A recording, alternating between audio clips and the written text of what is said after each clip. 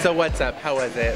Yeah, It was so fun. It was so fun. Like a really cool um, group of vendors in there. Yeah. Kind of shopping around their stuff, and uh, it was a cool thing to be part of. It always is. Any uh, brand in particular that you fell in love with?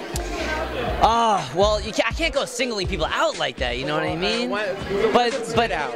Sorry. Ones that stood out to you.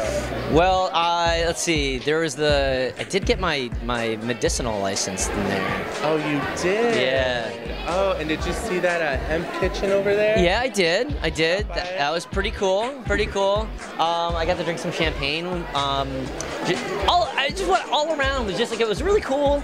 Got to sip. Got to try new vodka. Yeah, uh, Radoga Distilleries, correct? It was it was really delicious. It was good, huh? Yeah, yeah. They say they're the number one in the world apparently. So I think they're based out of Canada. maybe. Yeah, I'm getting I'm getting all the different people I spoke with confused. But um, but yeah, it was it was really fun. Really fun. It was cool to cool to be here. Now, um, why do you like coming to Celebrity Connected? Well, I mean, sure. It's like no one, no one doesn't like getting getting stuff, but it's also you get to you get to connect with these um, some new companies, some established companies, and uh, you also get to run into a bunch of friends, and uh, it's just it's a cool atmosphere to be in, you know.